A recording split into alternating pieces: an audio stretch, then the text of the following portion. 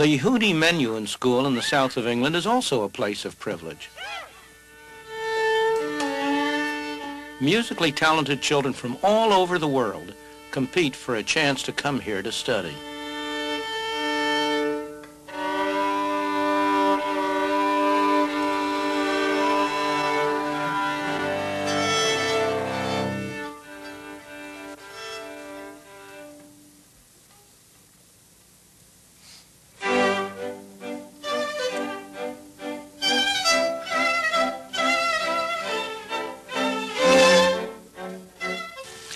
Much of the moral fervor behind the drive for equality comes from the widespread belief that it is not fair that some children should have a great advantage over others simply because they happen to have wealthy parents.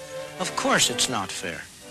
But is there any distinction between the inheritance of property and the inheritance of what at first sight looks very different?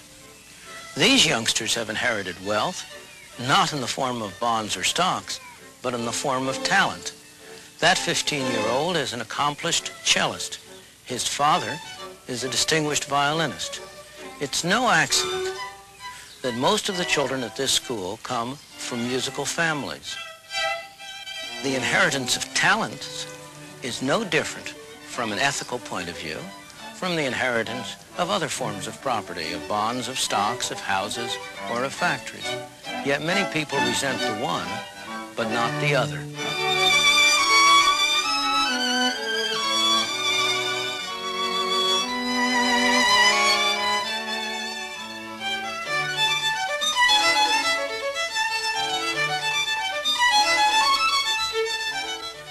Look at the same issues from the point of view of the parent. If you want to give your child a special chance, there are different ways you can do it. You can buy him an education, an education that will give him skills enabling him to earn a higher income. Or you can buy him a business. Or you can leave him property, the income from which will enable him to live better. Is there any ethical difference between these three ways of using your property? Or again, if the state leaves you any money to spend over and above taxes, should you be permitted to spend it on riotous living, but not permitted to leave it to your children? The ethical issues involved are subtle and complex. They are not to be resolved by resort to such simplistic formulas as fair shares for all. Indeed, if you took that seriously, it's the youngsters with less musical skill, not those with more, who should be sent to this school in order to compensate for their inherited disadvantage.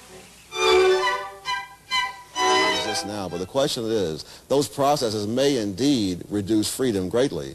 Uh, I would go beyond the question of equality and, and put it more generally, that any process to ascribe any status to any group of people, equality, inferiority, superiority, must necessarily reduce freedom because whatever the government wishes to ascribe to any group, whatever, whatever place, to use the phrase that was very common in the South, that blacks should have their place, whatever place the government is going to assign to people, that place will not coincide, wait, that, that place will not coincide either with, with what all those people are doing or with how others perceive all those people because there's too much diversity among human beings. To maintain any system of ascribed status from the top is going to mean reducing people's freedom across the spectrum. That's right. the point. People have an ascribed status. It isn't as if government, by its intervention, creates it. People are born into this world in a given sector of a society, and many, many of them are born at the bottom of the society. The argument for, uh, about equality of results was an argument that was linked to equality of opportunity. People recognized that unless there was a degree of equality in a, a degree of, there enough food, enough security, uh, access to education, Unless these things were available to all children, then equality of opportunity was merely a mockery. That's why equality of results became an issue, and it became an issue for black people in the United States, and they expressed their concern, no, whatever the opinion You expressed polls, it, damn it, look. The, they the, no, they did not. They, they did not. They damn expressed... Frances, finish it and then reply. They expressed their will by their extraordinary participation in a protest movement that began in the late 1950s and didn't end until I the have 1960s. never. Intellectuals were not in that protest movement. You want me to answer? Or you want to keep on? in that protest. You want me to answer? I finished. Yes. Good.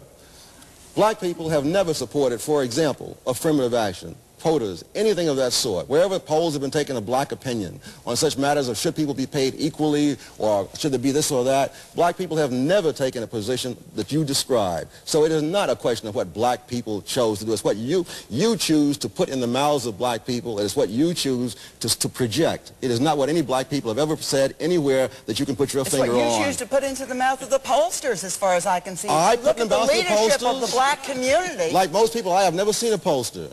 If you look at the leadership of the black